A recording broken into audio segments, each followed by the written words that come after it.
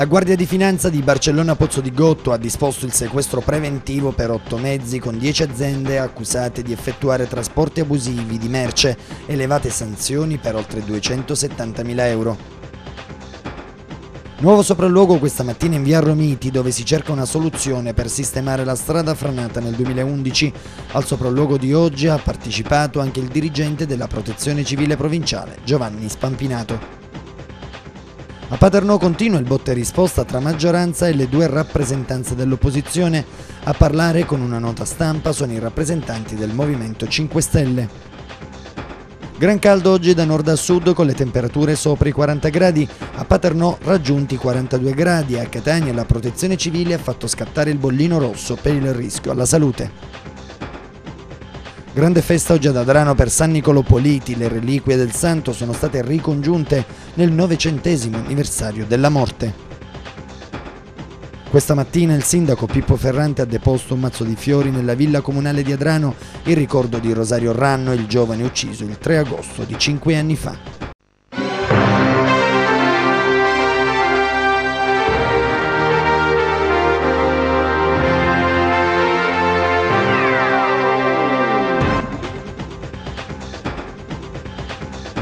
Buonasera da Ciac News, apriamo il telegiornale questa sera con l'operazione della Guardia di Finanza di Barcellona Pozzo di Gotto che ha disposto il sequestro preventivo per otto mezzi con dieci aziende accusate di effettuare trasporti abusivi di merce, effettuate sanzioni per 270.000 euro. Sentiamo il servizio. Dieci provvedimenti di fermo amministrativo per dieci mezzi riconducibili ad otto aziende impegnate abusivamente nel trasporto di merci, oltre a sanzioni per una cifra superiore ai 270.000 euro. È il risultato di un'operazione condotta dalla tenenza della Guardia di Finanza di Barcellona Pozzo di Gotto in provincia di Messina. L'attività è nata da una serie di controlli messi in atto dagli uomini delle fiamme gialle alla luce della normativa che disciplina il settore dei trasporti per il quale è prevista l'iscrizione in un apposito albo. Dagli accertamenti svolti dai finanzieri è emerso come numerosi erano i casi irregolari. In particolare sono state individuate otto imprese che esercitavano abusivamente l'attività di trasporto di merci su strada a cui sono state elevate sanzioni amministrative per oltre 150.000 euro. Inoltre, come previsto dalla specifica normativa, sono state applicate ulteriori sanzioni amministrative per oltre 120.000 euro ad altre otto aziende dislocate su tutto il territorio nazionale che avevano fatto ricorso agli autotrasportatori abusivi. A conclusione delle indagini è stata inoltre applicata la sanzione accessoria del fermo amministrativo per un periodo di tre mesi a dieci mezzi di trasporto. Si tratta di furgoni, motrici, autocarri e rimorchi per una capacità di trasporto complessiva superiore alle 30 tonnellate. Emblematico, come evidenziano le forze dell'ordine, il caso di una società di autotrasporti di Terme Vigliatore in provincia di Messina, la quale, nonostante fosse già stata sanzionata per il trasporto abusivo della merce, aveva continuato a utilizzare l'automezzo sottoposto al fermo amministrativo per la medesima attività abusiva.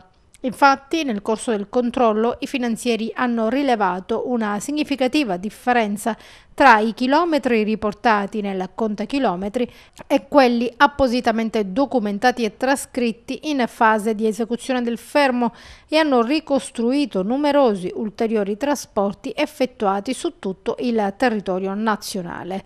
Il titolare dell'impresa dovrà rispondere anche del reato di sottrazione di cose sottoposte a sequestro per il quale è prevista la sanzione dell'arresto fino a tre anni. I carabinieri della stazione di Paternò hanno arrestato Giuseppe Ballato, 37enne paternese, su ordine di carcerazione emesso dalla Procura della Repubblica del Tribunale di Catania. L'uomo è stato condannato alla pena di tre anni e due mesi di reclusione perché ritenuto colpevole di incendio, reato commesso a Santa Maria di Licodia il 23 giugno 2006. L'arrestato ha espletato le formalità di rito e è stato ristretto nel carcere di Piazza Lanza come disposto dall'autorità giudiziaria. Torniamo alla cronaca e a Paternò, nuovo sopralluogo questa mattina in via Romiti dove si cerca una soluzione per sistemare la strada franata nel 2011. Al sopralluogo di oggi, oltre al sindaco Nino Naso, ha partecipato anche il dirigente della protezione civile provinciale Giovanni Spampinato. Nuovo sopralluogo questa mattina in via Romiti. Il sindaco Nino Naso si è recato nuovamente sull'arteria di collegamento tra Trappetazzo e Scalilli per fare il punto sull'intervento di ripristino della strada. Un sopralluogo a cui questa volta ha preso parte anche l'ingegnere Giovanni Spampinato del Dipartimento di Protezione Civile. L'amministrazione comunale intende recuperare il tratto di via Romiti franato sei anni fa attraverso un finanziamento della Protezione Civile un intervento quanto mai necessario per consentire ai residenti una seconda via di collegamento con la città e soprattutto il passaggio dei mezzi di soccorso. Il ripristino di Via Romiti, ha affermato l'ingegnere Spampinato, è importante perché permetterebbe ai mezzi di soccorso di raggiungere la zona. Al momento ciò non è possibile perché la frana ha ridotto considerevolmente la larghezza della strada e di fatto viene impedito il passaggio dei mezzi più grandi.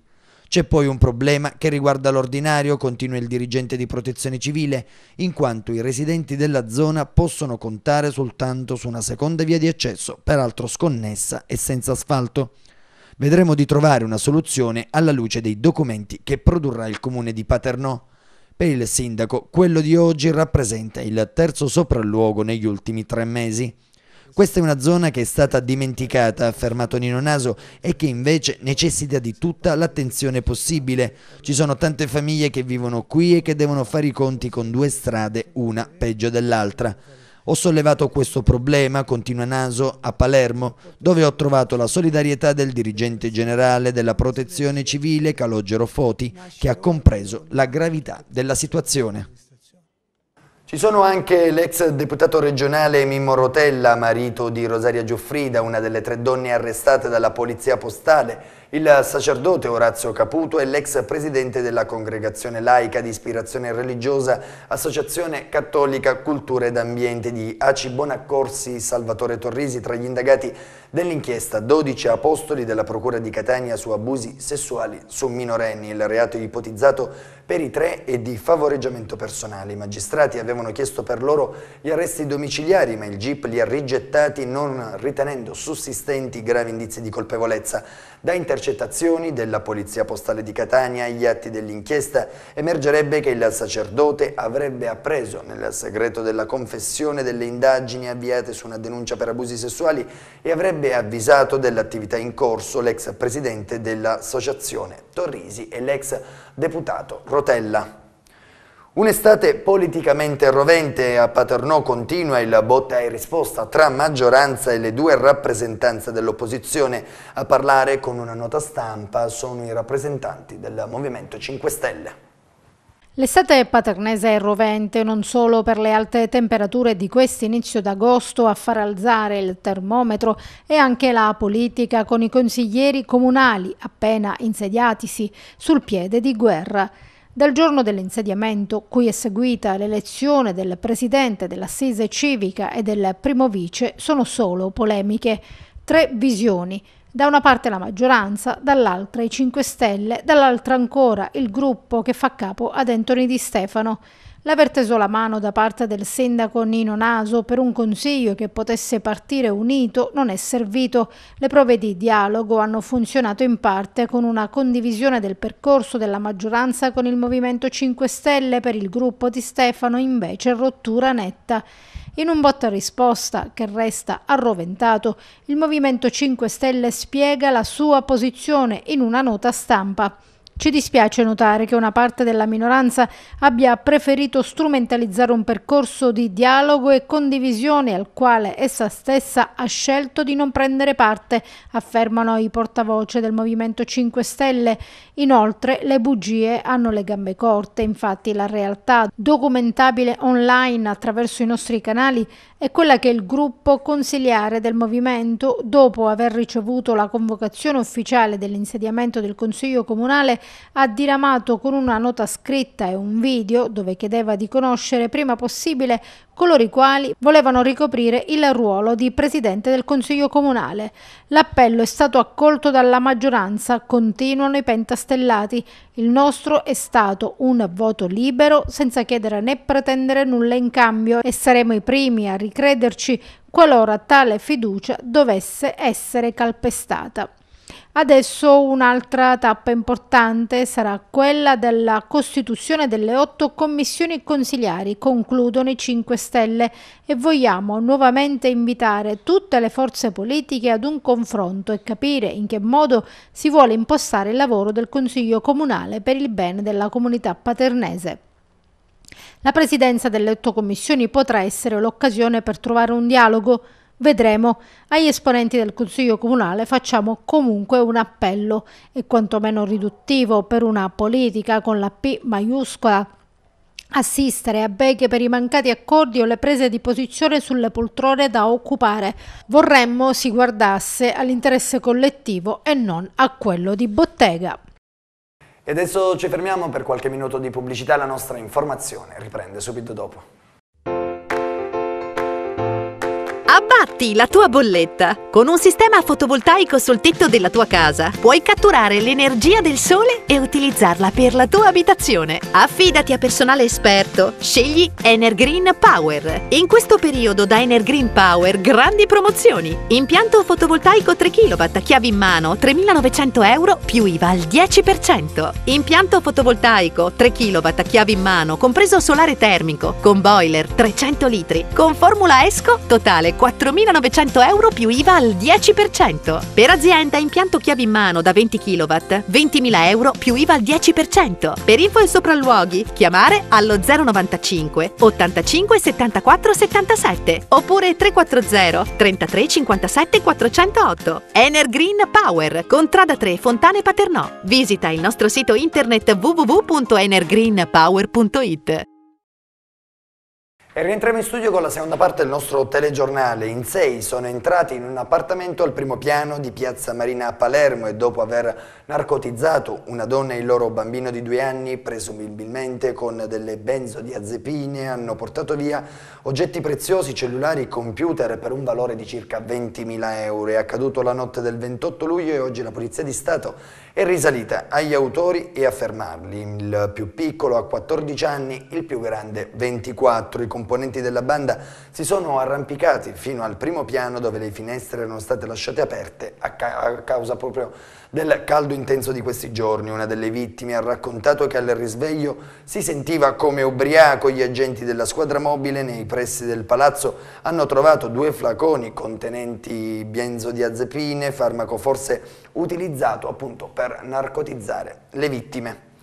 E adesso il gran caldo di questi giorni, temperature davvero alte oggi da nord a sud con la colonnina di mercurio ben sopra i 40 gradi. A Paternò raggiunti i 42 gradi. A Catania la protezione civile ha fatto scattare il bollino rosso per rischio. Alla salute! Come anticipato nei giorni scorsi, l'ondata di caldo africano è giunta puntualmente in Italia investendo la penisola con temperature torride. Superati i 40 gradi da nord a sud con le regioni centrali maggiormente esposte al soffio bollente proveniente dall'area sahariana. Secondo i meteorologi, la Sicilia sarebbe stata interessata soltanto in parte dall'ondata di calore denominata Lucifero, ma le temperature alte non sono mancate soprattutto nelle aree centrali dell'isola. Caldo da bollino rosso con allarme lanciato dal Dipartimento regionale di protezione civile anche a Catania. A Paternò oggi alle 14 sono stati raggiunti 42 gradi. Non un record stagionale visto che già altre due volte quest'estate il termometro in città ha raggiunto la stessa temperatura. Si tratta di un caldo record paragonabile in questo primo inizio di secolo soltanto a quello registrato nell'estate 2003. Come quell'anno, anche questa volta il caldo torrido non cenna a placarsi, ma prosegue a ondate regolari spingendo le perturbazioni ben oltre l'arco alpino. Il risultato è un'estate arida e calda come poche volte è avvenuto e per i prossimi giorni la situazione, secondo le previsioni meteo, non dovrebbe cambiare di molto. Il gran caldo infatti persisterà anche in Sicilia per tutto il resto della settimana e quindi fino a domenica. Anche l'inizio della prossima settimana sarà nel segno delle alte temperature. Una tregua dovrebbe arrivare sotto Ferragosto. Nessuna minaccia di maltempo all'orizzonte, ma un moderato calo delle temperature che dovrebbe portare il clima su livelli più accettabili. E adesso la, l'ampia pagina che dedichiamo alle festività patronali di San Nicolo Polite ad Adrano, grande festa oggi nella città adranita per il santo patrono, le reliquie del santo sono state ricongiunte nel comune adranita nel novecentesimo anniversario della morte.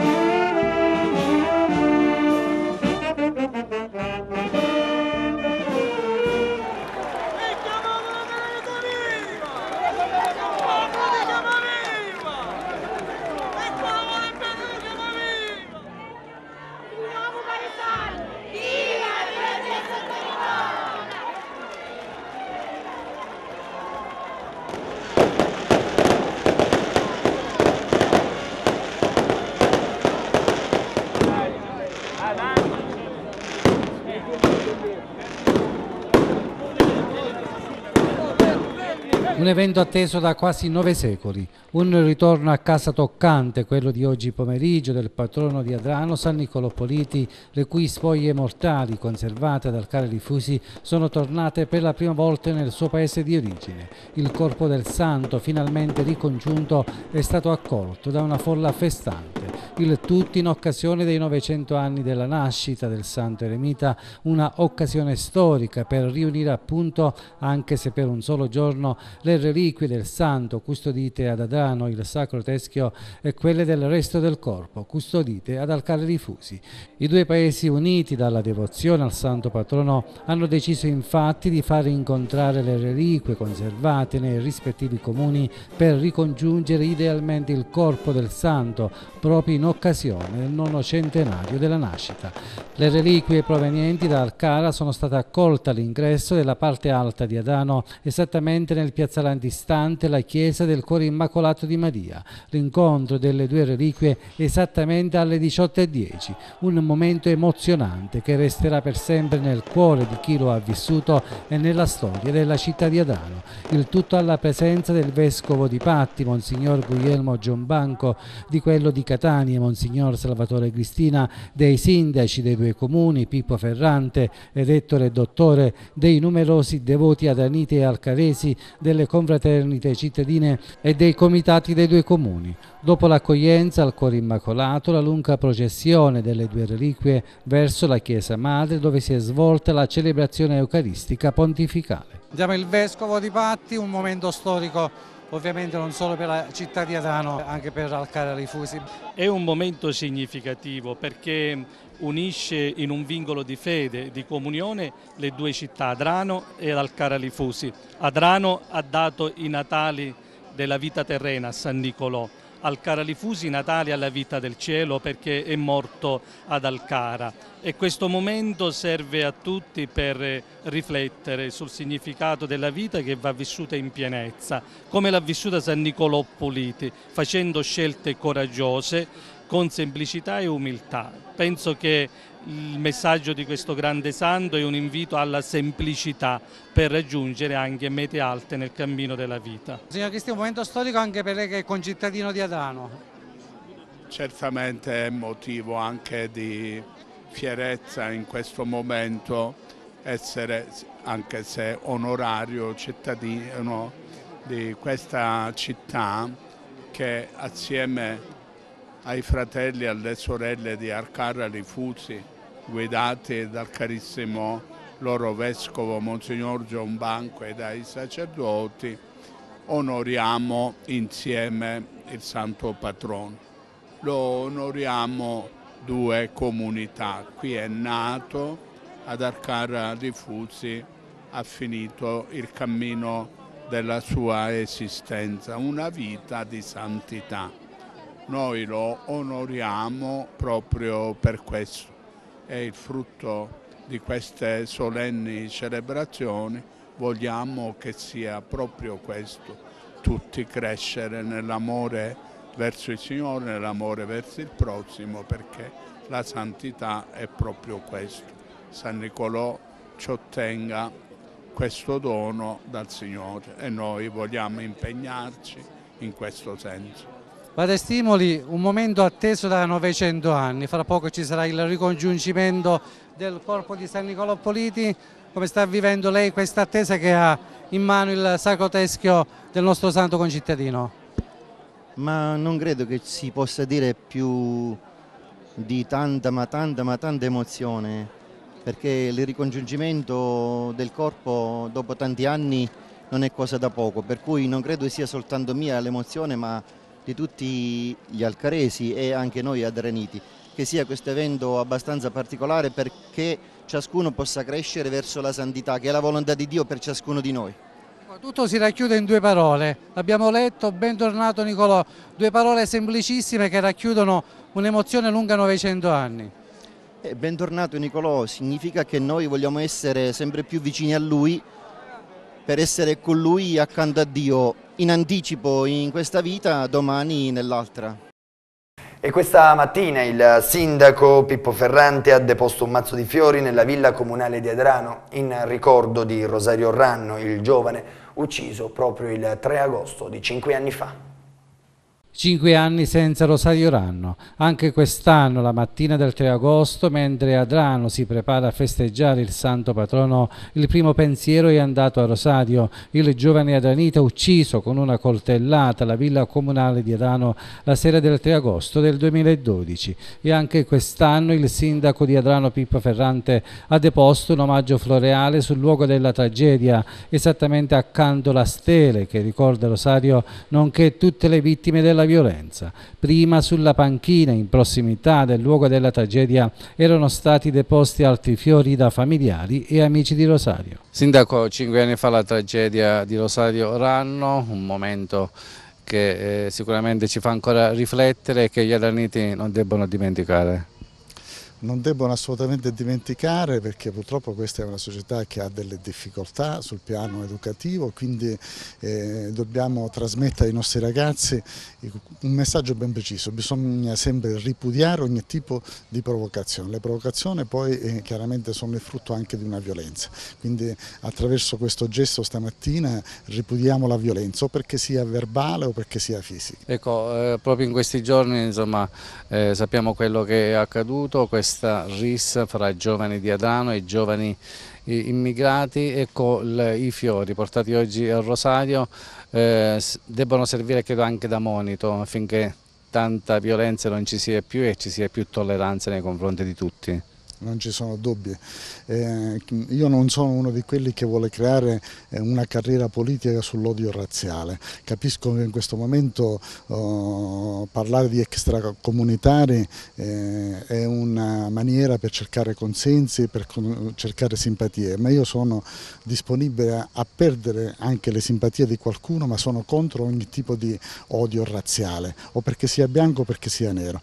Nella, nella vicenda di questi giorni abbiamo visto di chi sono le responsabilità e sono chiare, quindi mi auguro che queste cose non succedano più, dobbiamo anche imparare una cosa, che i nostri figli non sempre hanno ragione, non dobbiamo sempre cercare degli alibi per giustificare i nostri figli, quando sbagliano vanno ripresi. E con queste immagini si conclude il telegiornale per questa sera, come sempre vi ricordo la prima edizione in onda alle 20 e poi i nostri aggiornamenti sulla pagina Facebook e sul sito checktelesud.com. A voi una buona serata.